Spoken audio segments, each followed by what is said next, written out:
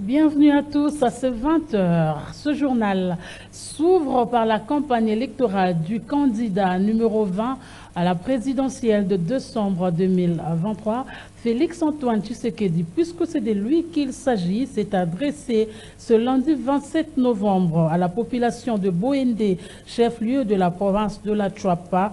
Il est annoncé dans les heures qui suivent à Lissala et Bumba, dans la province de la Moongala. Le candidat numéro 20 se fait toujours précédé par le leader du mouvement de libération du Congo, Jean-Pierre Bemba Gombo. Nous y reviendrons.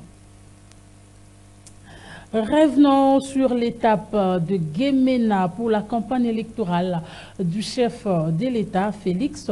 Antoine Tshisekedi, le candidat numéro 20, a été très impressionné de l'accueil lui réservé par la population de Guémena, fief naturel du leader du mouvement de libération du Congo, Jean-Pierre Bemba Gombo. Reportage.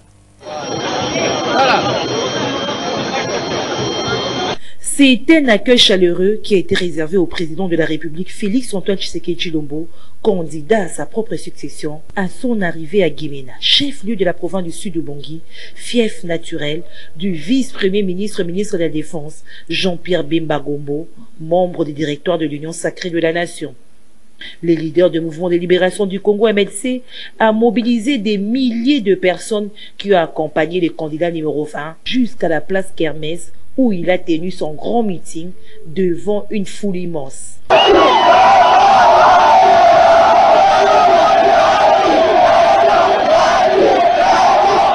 Le chef de l'État, Félix Antoine Tshisekedi Tshombo, très impressionné de l'accueil lui réservé par la population de Guémena, fief naturel du leader du MLC.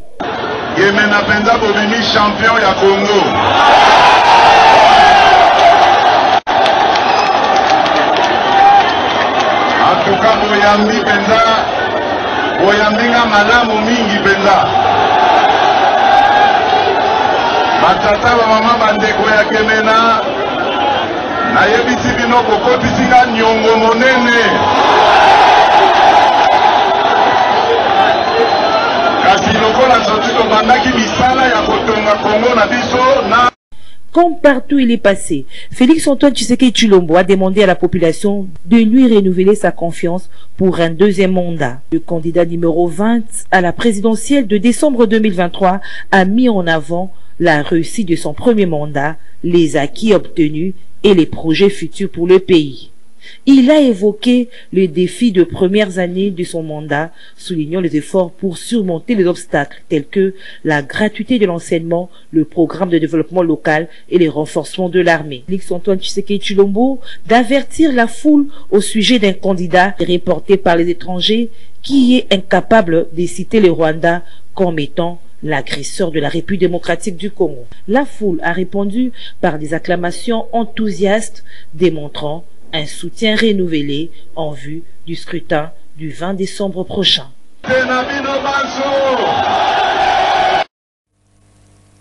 D'un candidat président à un autre, cette fois, parlons du numéro 16 à la présidentielle euh, le mandaté du Christ aux élections de 2023, le révérend docteur Agrengalassi Kourissini, était face à la presse ce lundi euh, 27 novembre 2023 dans le cadre de la campagne électorale. Il a répondu aux différentes préoccupations de la presse nationale qu'internationale au sujet de sa participation inédite au scrutin de décembre 2023. Reportage.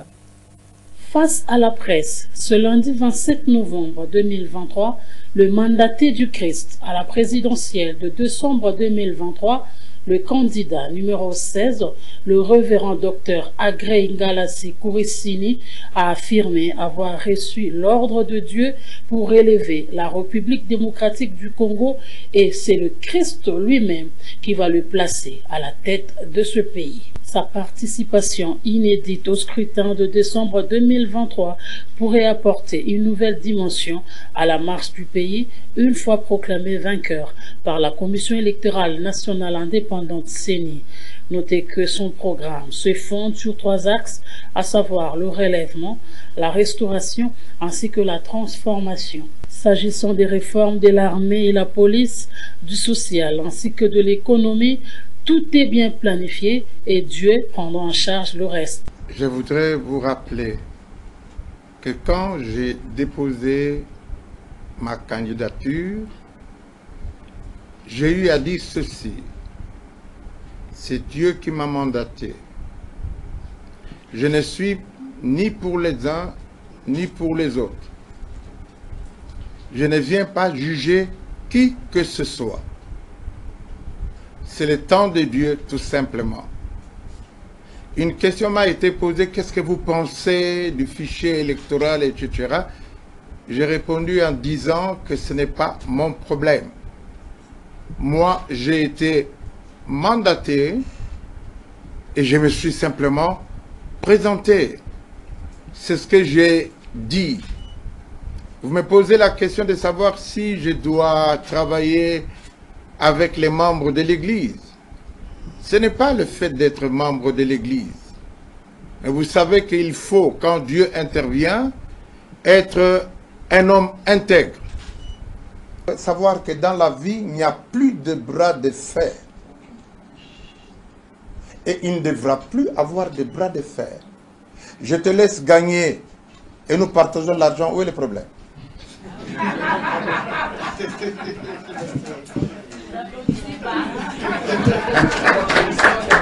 Pourquoi pas essayer avec le révérend docteur Agré Galassi, le numéro 16, avec Dieu, nous vaincrons, disent les Saintes Écritures. Naître alors se lève un chant, Dieu tout-puissant.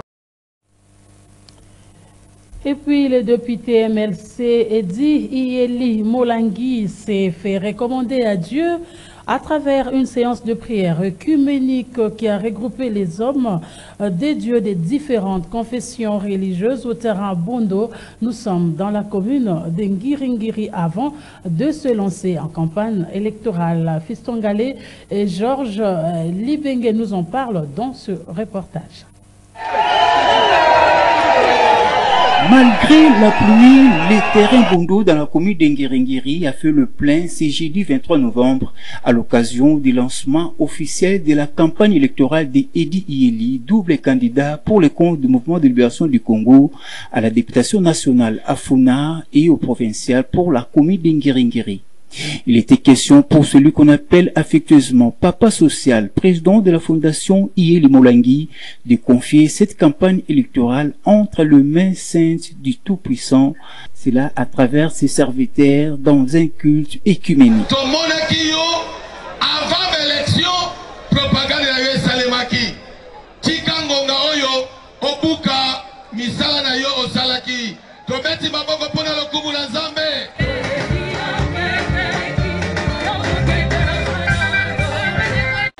Nayaki kolela epa bapapa milimo na ngai. Abi bosunga ngai.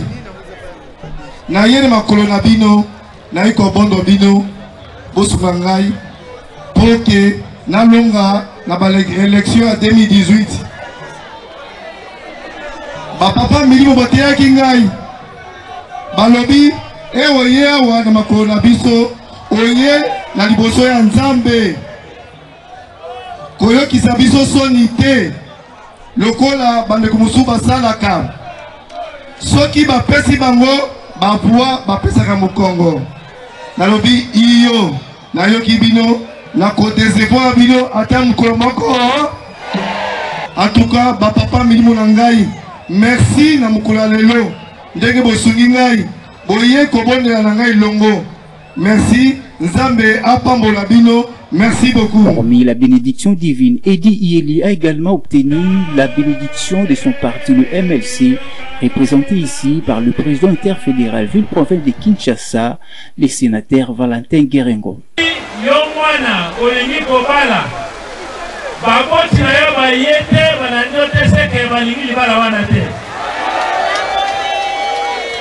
edi yeli alingi azali kandida alingi kosala kampagne mpo bovote ye. Abengi ngai lokola tata na ye.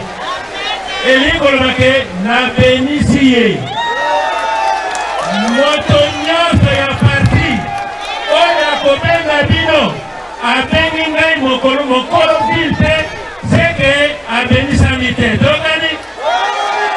S'ensuivra sous une pluie battante l'imposition des mains des hommes de Dieu des différentes confessions religieuses venus des sept communes de Funa sur Edi Ieli, les confiant ainsi entre le mains du Seigneur.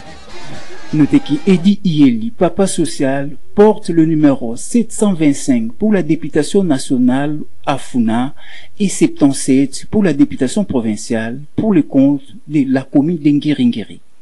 Avec Dieu, le MLC vaincra. La devise n'est pas un slogan au parti de Jean-Pierre Bemba. De son côté, Marc Kilenge Toko, candidat numéro 496 à la Lukunga, a lancé dimanche sa campagne électorale. C'était à travers une caravane motorisée qui a parcouru plusieurs artères et avenues de sa circonscription électorale. Gisèle Toko et Héritier Toubiland. C'est une campagne électorale à l'américaine que s'est lancé Marc Kilenge Toko, candidat député national numéro 496 à la Lukunga pour le compte de la FDC. La caravane motorisée marquant le début de sa campagne électorale a débuté à la gare centrale en compagnie du candidat député provincial numéro 38 à Kitambo, Moïse Matal. Le ticket gagnant, ensemble avec une foule des électeurs, a pris la direction de l'avenue du Flambeau, passant par le quartier Beaumarchais, Willery, jusqu'à Kitamo. Chemin faisant, il distribuait des flyers appelant au vote utile, c'est-à-dire numéro 496 à la Lukunga, marque Kilenge Toko. Tous les quartiers et avenues de Kitamo ont été sensibilisés. Après Kitamo, cap vers la commune de Mongafula. Première étape, c'est le quartier environnant de l'université de Kinshasa.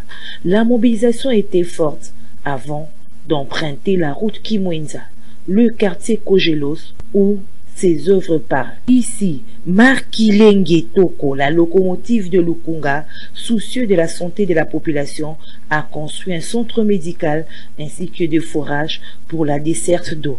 La population de ce coin de la capitale lui promet tout son soutien.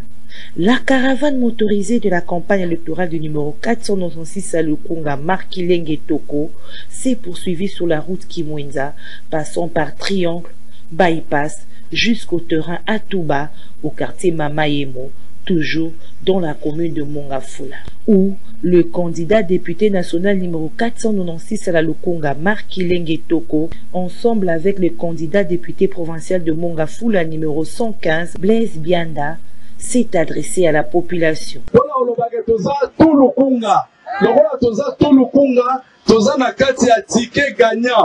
Tike ganya eza oyo ezake lisanga ya balongi. Donc tozokende mpo topola te ndenge bobengaka la locomotive de lukunga. Locomotive eza tokoti topanzi toleki eza bongo te. La victoire de la locomotive de Lukunga, Marc Ilenge Toko, candidat numéro 496 à la Lukunga, est donc assurée.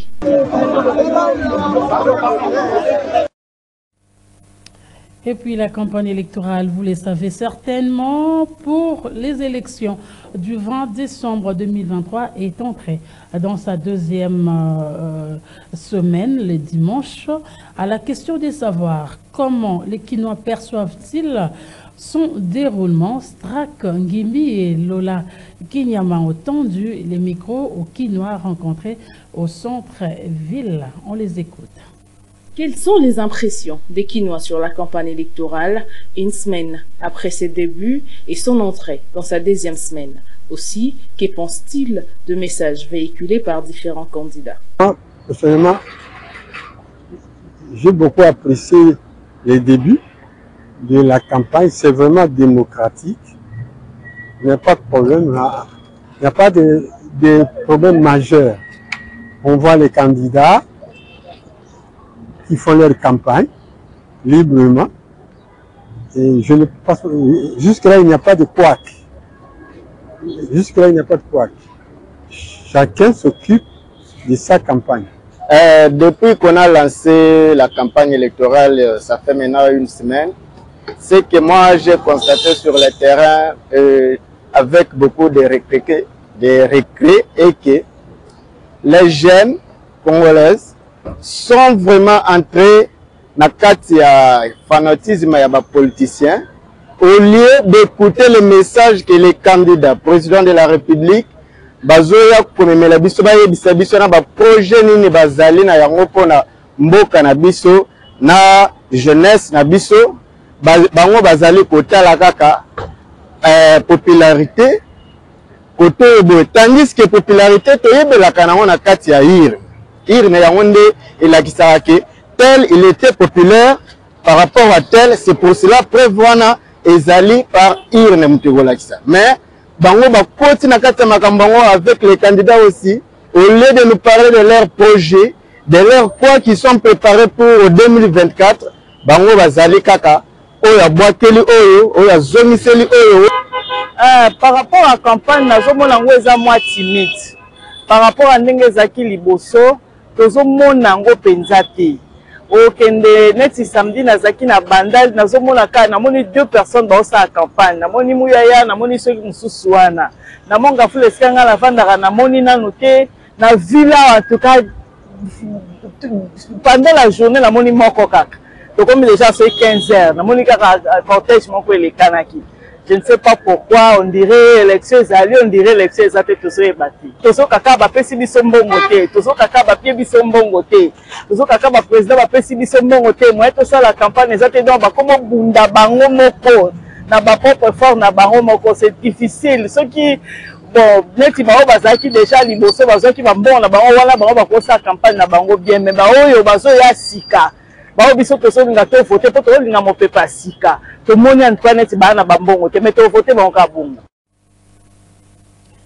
Ça fait débat.